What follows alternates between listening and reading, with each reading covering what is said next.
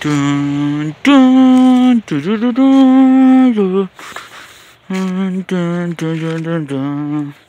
Hey, what's up, you guys?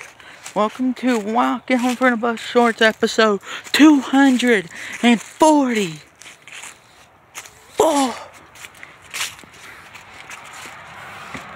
Now, I got some sad news. I will be making a new FJ Wrestling episode tomorrow about a topic that I did not want to make a the episode tomorrow was supposed to be different, but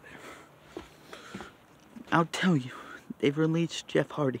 So the episode I'm releasing tomorrow will be FTJ Wrestling release.